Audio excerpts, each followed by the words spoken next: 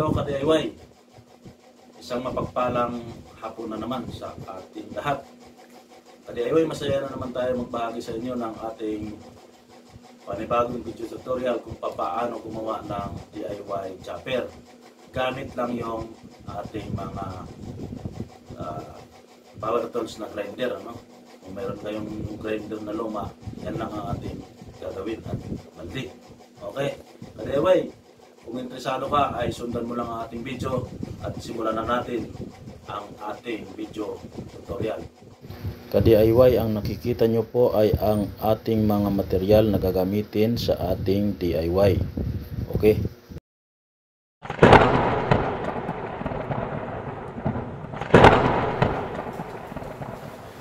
Ngayon ka-DIY, sisimulan natin ang ating paggawa sa ating DIY chopper sa ating material na balde. Una ay bubutasan natin yung pit ng balde sa pinakagitnang bahagi. Yung kasya, yung ating grinder. Okay?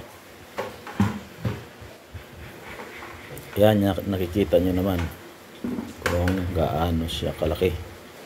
Yung angle bar naman na aking hawak-hawak na dati kong, yan po ay dati kong uh, stand ng aquarium. Yan po tayo kumuha ng material uh, para hindi na tayo gumastos pa.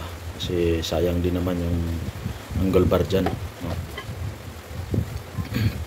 Pumutol tayo ng tatlong uh, piraso na pare-parehas ang taas. Depende sa taas ng inyong DIY chopper. Yan po ang gagawin natin in stand. No? Yung tatlong pare-parehas.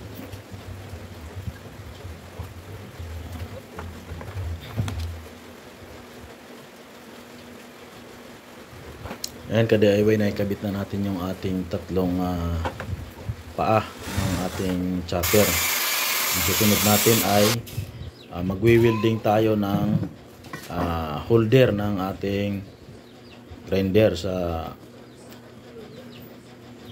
bandang ilalim ng ating balde.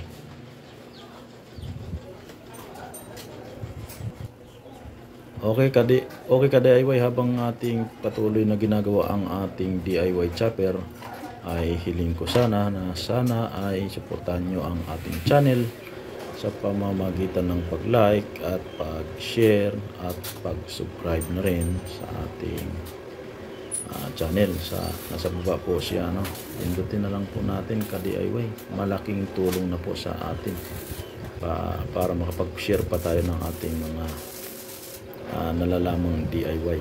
Okay, salamat.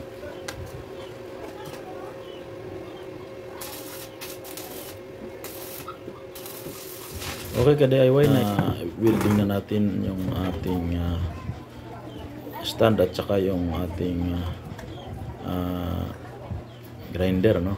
Ikabit na natin. Ilalagay na natin sa taas yung ating balde. At ito tornilyo natin siya sa bawat uh, angle bar na kanyang stand. Puntasan natin yung mga angle bar natin. Dalawa-dalawa. At tinignilyuhan natin siya.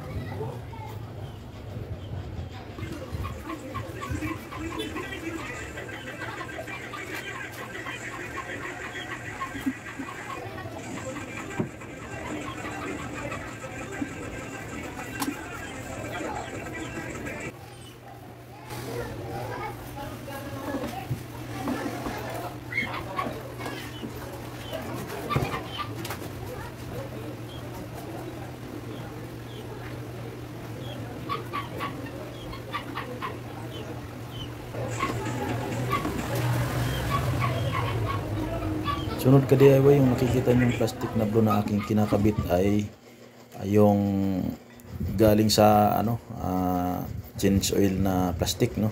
Lalagyan. Pinutol ko lang siya. Yan lang ang available. Ang silbing labasan lang ng ating mga gulay na, pra, na finished product. Okay?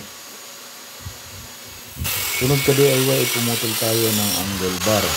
Ang gagawin natin blade ng ating chopper sinukat susukatin po natin siya ng kasya lang doon sa ating balde no?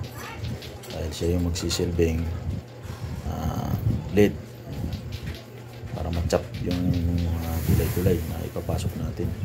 Kakabit siya natin doon sa ating grinder. I-designan natin siya at hahasain natin siya para mabilis makapag-chop ng mga gulay-gulay. Okay, yan. Kita nyo naman style ng aking blade. Depende sa gusto nyong style, no? Ako, ganyan kasi ang ginawa ko. Ginaya ko lang yung blade ng ah, grass cutter. Parang ganito yun. Okay ka DIY ano? Kakabit na natin yung ating blade. Tapos na tayo sa pagkabit ng ating balde at saka grinder. Kakabit na natin yung ating ginawang blade para matesting na natin yung ating DIY chopper ang mga gulay-gulay. Tingnan nyo maigi. Ah, susubukan natin siya na talaga namang napakaganda. Napakamahal nito ka DIY kung bibilhin mo lang naman sa mga online ano.